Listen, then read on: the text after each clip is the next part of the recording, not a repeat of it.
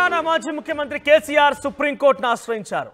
విద్యుత్ కమిషన్ పేరిట తనని ఇబ్బందులు గురి చేస్తున్నట్టుగా విద్యుత్ విద్యుత్ కమిషన్ని పూర్తిగా ఈ కమిషన్ రద్దు చేయాల్సిందిగా హైకోర్టులో పిటిషన్ దాఖలు చేసినప్పటికీ ఆయనకి చుక్కెదురైంది హైకోర్టు పిటిషన్ తోసిపుచ్చింది. దీంతో ఆయన సుప్రీంకోర్టుకు వెళ్ళారు. సుప్రీంకోర్టులో ఈ రోజు విచారణ జరగనుంది ఈ పిటిషన్ పైన. ఇక ప్రభుత్వం నియమించినటువంటి విద్యుత్ కమిషన్ రద్దు చేయాలంటూ సుప్రీంకోర్టును ఆయన ఆశ్రయించారు. ఇవాళ విచారణ చేపట్టిన ధర్మాసనం ఎటువంటి తీర్పు ఇవ్వబోతుందో ఉత్కంఠ ఎత్తున పరిస్థితి కనబడుతోంది ఇక విద్యుత్ కమిషన్ రద్దు కోరుతూ గతంలో హైకోర్టులో కేసీఆర్ ఆశ్రయించినప్పటికీ హైకోర్టు దీన్ని తోసిపుచ్చింది పిటిషన్ని కొట్టివేసింది. ఇక కమిషన్ వేయడం తప్పేమీ కాదని విచారణ జరగనివ్వాలని చెప్పింది హైకోర్టు. దీంతో హైకోర్టు తీర్పును సుప్రీంకోర్టులో సవాల్ చేస్తున్నారు కేసీఆర్.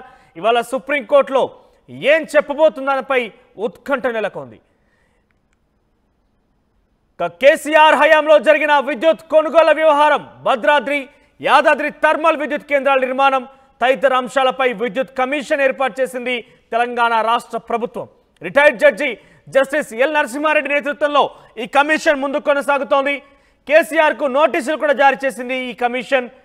ఇక అయితే తాను ఏ తప్పు చేయలేదని అసలు కమిషన్ సరైంది కాదని ఆయన విచారణ నుంచి జస్టిస్ నరసింహారెడ్డి కూడా తప్పుకోవాలంటూ పద్నాలుగు పేజీల లేఖని కూడా కమిషన్కి తిప్పి పంపారు.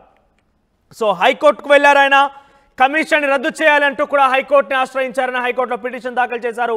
కానీ హైకోర్టు కేసీఆర్ పిటిషన్ని కొట్టిపారేసింది. కమిషన్ వేయడంలో తప్పేమీ లేదు అంటూ కూడా హైకోర్టు జవాబిచ్చింది తీర్పునిచ్చింది. సో మొత్తం మీద హైకోర్టు తీర్పును సవాల్ చేస్తూ కేసీఆర్ సుప్రీంకోర్టుకు వెళ్ళారు ఈరోజు సుప్రీంకోర్టులో ఈ కేసు విచారణ జరగబోతోంది. విచారణ తదనంతరం ఎటువంటి విషయాలు వెల్లడించబోతుంది. సుప్రీంకోర్టు ఎటువంటి తీర్పునివ్వబోతుంది చూడాల్సిన అవసరమైతే ఉంది. పెద్ద ఎత్తున రాజకీయంగా ఇది ఉత్కంఠ కూడా రేస్తోంది ఎస్ మధు జాయిన్ అవుతున్నారు. మనతో పాటుగా ఫోన్ లైన్లో. S Madhu. So high court తోసిపుచ్చిన ఈ పిటిషన్ని సుప్రీంకోర్టు వెళ్ళారు కేసీఆర్. సో సుప్రీంకోర్టులో ఎటువంటి విచారణ జరిగే అవకాశం అని సుప్రీంకోర్టులో తమకి సానుకూలంగా తీర్పు రాబోతున్న ఎక్స్పెక్టేషన్లో బీఆర్ఎస్ పార్టీ కానీ కేసీఆర్ గారు ఉన్నారా?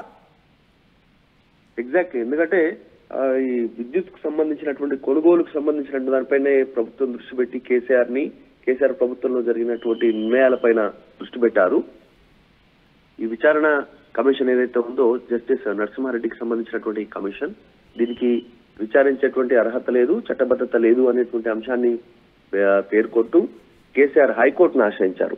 హైకోర్టు దీనికి సంబంధించి చాలా క్లారిటీగా ఈ ఇలాంటి ఎలాంటి ఉల్లంఘనలు జరగలేదు. కమిషన్ ఏర్పాట్లు అనేటువంటిది హైకోర్టు తీర్పు వెలువడించింది దీంతో సుప్రీంకోర్టును ఆశ్రయించారు కేసీఆర్ ఈ రోజు విచారణకు రానుంది. కేసీఆర్ తరఫు నుంచి సీనియర్ లాయర్లు హాజరు కానున్నట్టుగా తెలుస్తా ఉంది.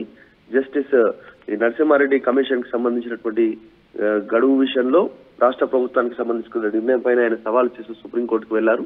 జస్టిస్ చంద్రచూడ్ ఆధ్వర్యంలో ఈరోజు కేసీఆర్ సుప్రీంకోర్టును ఆశ్రయిస్తా ఉన్నారు. మొత్తానికైతే ఈ విద్యుత్ కొనుగోలుకు సంబంధించినటువంటి అంశంలో ఛత్తీస్గఢ్ సంబంధించినటువంటి విద్యుత్ కొనుగోళ్ళు తర్వాత యాదాద్రి భద్రాద్రికి సంబంధించినటువంటి థర్మల్ ప్లాంట్లకు సంబంధించినటువంటి నిర్మాణంలో వీటన్నిటిపైన జస్టిస్ నరసింహారెడ్డి కమిషన్ ఏర్పాటును వ్యతిరేకిస్తూ ఆయన సుప్రీంకోర్టును ఆశ్రయిస్తారన్నారు మొదట హైకోర్టును ఆశ్రయించి రిలీఫ్ పొందాలనుకున్నప్పటికీ కూడా అది సాధ్యం కాకపోవడం హైకోర్టు ఉత్తర్వులను సవాల్ చేస్తూ కేసీఆర్ తరఫున lawyer Mohit Rao special leave petition దాఖలు చేశారు. గతంలోనే మనం చూసాం దీనిపైన సుదీర్ఘంగా. లేఖ కూడా రాశారు. పన్నెండు పేజీలకు పైగా లేఖను రాశారు. ఆ లేఖను చదివినటువంటి జస్టిస్ నరసింహారెడ్డి సానుకూలంగా స్పందించినప్పటికీ ఖచ్చితంగా కేసీఆర్ హాజరు కావాలనేటువంటి దిశగానే వాళ్ళు ప్రయత్నాలు చేశారు. ఇటు కేసీఆర్ అప్పుడు విద్యుత్ శాఖ మంత్రిగా ఉన్నటువంటి జగదీశ్వర్ రెడ్డి ఇద్దరు రావాల్సిందిగా ఇద్దరు కూడా దానికి సంబంధించినటువంటి హాజరు కావాల్సిందిగా కమిషన్ పేర్కొనడంతో హైకోర్టును ఆశ్రయించారు. ప్రస్తుతం ఈ రోజు justice Pardiwala justice Manoj Mishra justice D Y Chandrachud ఈ ముగ్గురి ఆధ్వర్యంలో విచారణకు రానుంది. జ్యుడిషియల్ కమిషన్ ఏర్పాటు నిబంధనలను ఉల్లంఘించారు అనేటువంటి దానికి వీళ్ళు పేర్కొంటూ సుప్రీంకోర్టును ఆశ్రయిస్తున్నారు. దాంతో పాటు స్వచ్ఛందంగా బాధ్యతల నుంచి ఆయన తప్పుకోవాలి జస్టిస్ నరసింహారెడ్డి అనేటువంటి అంశాన్ని పేర్కొంటున్నారు. సుప్రీంకోర్టుకు వెళ్ళేటువంటి దాంట్లో కేసీఆర్ దాఖలు చేసినటువంటి ఈ పిటిషన్లో చాలా స్పష్టంగా విచారణ అర్హత లేదు అనేటువంటి అంశాన్ని పేర్కొంటూ సుప్రీంకోర్టును ఆశ్రయిస్తున్నారు చూడాలి కేసీఆర్ తరఫు నుంచి సీనియర్ లాయర్గా ఎవరు హాజరు కానున్నారు ఈ రోజు జరిగేటువంటి దాంట్లో అనేటువంటిది మెన్షన్ చేస్తా ఉన్నారు. అయితే ఏ ఏ అంశాలను పొందుపరుస్తూ ఏ అంశాలను ఫోకస్ చేస్తూ కేసీఆర్ సుప్రీంకోర్టును ఆశ్రయిస్తున్నారు అనేటువంటిది ఎలక్ట్రిసిటీకి సంబంధించినటువంటి చట్టంలో సెక్షన్ ఎయిట్ బి సి ప్రకారం రూల్స్ బ్రేక్ చేయలేదు అంటూ మరొకసారి వీళ్ళు జస్టిస్ నరసింహారెడ్డి అనేటువంటి వాళ్ళు హైకోర్టు ద్వారా వెల్లడించినటువంటి నేపథ్యంలో సుప్రీంకోర్టులో ఏ అంశాలను లేవనెత్తే అవకాశం ఉంది కేసీఆర్. ఎలాంటి అవకతవకలు జరగలేదు విద్యుత్ కొనుగోలులో. అనేటువంటి అంశాలను సుప్రీంకోర్టులో ఏ రకంగా పేర్కొంటారు అనేటువంటిది చర్చ జరుగుతా ఉంది. చూడాలి ఏం జరుగుతుందో సుప్రీంకోర్టులో ఈ రోజు జరిగేటువంటి విచారణలో. రైట్ థ్యాంక్ యూ మధు ఇక ఓవరాల్గా కేసీఆర్ రోజు సుప్రీంకోర్టులో తన పిటిషన్ విచారణ రాబోతుంది అయితే ఈ petition chief justice of India Chandrachud బెంచ్కి వెళ్ళింది. ఈ రోజు ఆయన ఈ పిటిషన్ మీద విచారణ జరపబోతున్నారు.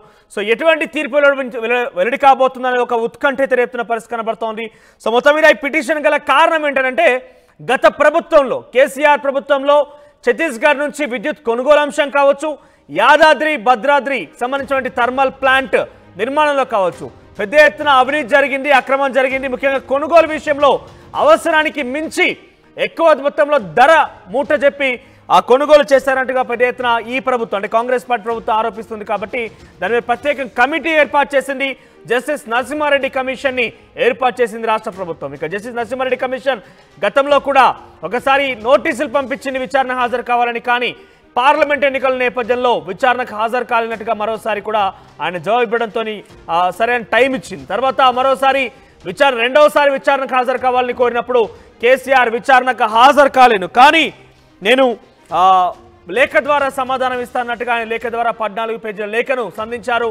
ఆ లేఖలో జస్టిస్ కమిషన్ ఏదైతే నరసింహారెడ్డి కమిషన్నే ఆయన కొట్టిపారేస్తారు మీరు వెంటనే ఈ కమిషన్ చైర్మన్గా ర- రద్దు మిమ్మల్ని మీరు తొలగించేసుకోండి. ఆ కమిషన్ చైర్మన్గా ఉండడం సబబు కాదు. మీరు కేవలం గత ప్రభుత్వాన్ని నెప్పనెట్టడం గత ప్రభుత్వాన్ని కేవలం టార్గెట్ చేస్తూ ముందుకు వెళ్తున్నట్టు కనబడుతోంది. సో నేను ఏం చేయలేను. నేను కంప్లీట్గా చాలా వరకు ప్రజల శ్రేయస్సు కోసమే పనిచేస్తున్నట్టుగా కేసీఆర్ ఆ లేఖలో పొందుపరిచారు. ఇక ఆ లేఖకు సంబంధించి తర్వాత ఆ కేసీఆర్ పిటిషన్ దాఖలు చేశారు హైకోర్టులో. సో హైకోర్టులో పిటిషన్ దాఖలు చేసి వెంటనే ఈ కమిటీని రద్దు చేయాలి కమిషన్ రద్దు చేయాలి. జస్టిస్ నరసింహారెడ్డి అత్యుత్సాహంగా ముందుకు వెళ్తున్నారు. గత ప్రభుత్వాన్ని టార్గెట్ చేస్తూ ఆయన తప్పు పట్టే విధంగా ముందుకు వెళ్తున్నట్టుగా పిటిషన్ దాఖలు చేశారు కేసీఆర్ హైకోర్టులో. ఇక హైకోర్టు ఆ పిటిషన్ కొట్టిపారేసింది. కమిషన్ తప్పు ఏముంది? కమిషన్ తన పని తాను చేసుకువెళ్తోంది కమిషన్ని రద్దు చేసేటువంటి పరిస్థితి ఉండకపోవచ్చు. సో కమిషన్ని ముందుకు కొనసాగనివ్వాలి. మీరు కూడా సహకరించాలన్నట్టుగా కేసీఆర్కి జవాబు ఇచ్చింది కేసీఆర్కి షాక్ ఇచ్చింది. ఇక తర్వాత దాన్ని సవాల్ చేస్తూ ఆయన ఈరోజు సుప్రీంకోర్టులో పిటిషన్ దాఖలు చేశారు. సుప్రీంకోర్టులో ఈరోజు కేసు విచారణ రాబోతోంది. సో మొత్తం మీద కమిషన్ ఇద్దరికి నోటీసులు దాఖలు జారీ చేసింది. గతంలో ముఖ్యమంత్రిగా వివరించిన కేసీఆర్తో పాటుగా విద్యుత్ శాఖ మంత్రిగా పనిచేసిన జగదీష్ రెడ్డి ఇద్దరికి కూడా పిటిషన్ దాఖలు చేసింది. సో ఈ పిటిషన్లను సవాల్ చేస్తూ అంటే వారిని నోటీసులు జారీ చేసింది వారిని వ్యక్తిగతంగా హాజరు కావాలి. విచారణ కంటూ కూడా నోటీ నోటీసులు జారీ చేసిన నేపథ్యంలో సో ఏకంగా కమిషన్ రద్దు చేయాలన్నట్టుగా కేసీఆర్ సుప్రీంకోర్టులో పిటిషన్ దాఖలు చేశారు. ఈరోజు విచారణ జరగబోతోంది. ఏకంగా chief justice of India Chandrachud బెంచ్కి బెంచ్కి ఈ పిటిషన్ వెళ్ళింది. ఈ రోజు విచారణ తదనంతరం ఎటువంటి తీర్పు రాబోతోంది? ఎటువంటి సమాధానం రాబోతోంది? కేసీఆర్కి సానుకూలమా? అనుకూలమా? ఎటువంటి తీర్పు రాబోతుందనే ఒక విషయం పెద్ద ఎత్తున రాజకీయంగా చర్చ ప్రారంభమైంది ఉత్కంఠ రేపుతోంది.